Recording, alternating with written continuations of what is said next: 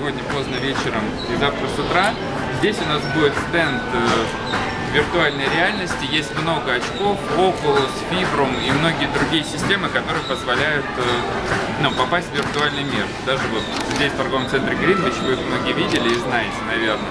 Поэтому здесь у нас будет э, тоже такой стенд, в котором можно будет э, почувствовать себя полностью перенесенным э, в другую реальность, прокатиться на горках или попасть в космос, или ощутить себя в другом мире. А это робот из Канады. Он собран э, московскими студентами Бауманского университета. Он создается как э, ну, поставляется в запчастях, и его, их нужно собирать, соединять, программировать и потом настраивать.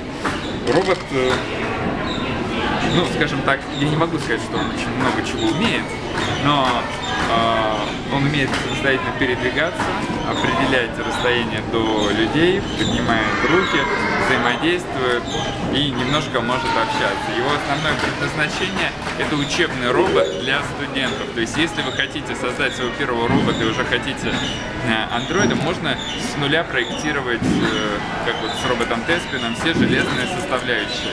А можно взять существующую платформу, и дальше вы можете уже добавлять свой контроллер, свои программы, а, учиться на ней. И когда вы уже научитесь тому, как передвигать робота, как он управляется, вы можете а, приступать к тому, чтобы создавать своего собственного.